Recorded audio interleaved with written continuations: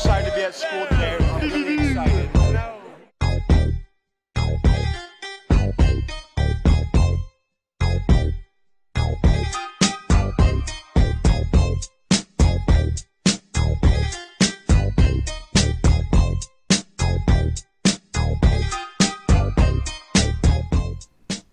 Welcome to the Ravens Report. Thanks for watching. I'm Josh. And I'm Harry.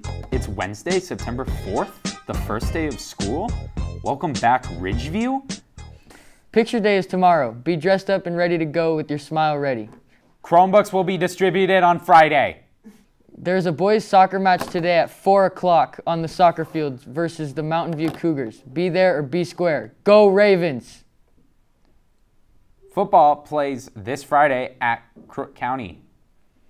Volleyball had a strong victory last night versus non league David Douglas. Great job, Ravens. And that's it for today. I'm Josh. And I'm Harry. As always, have an epic day and stay classy.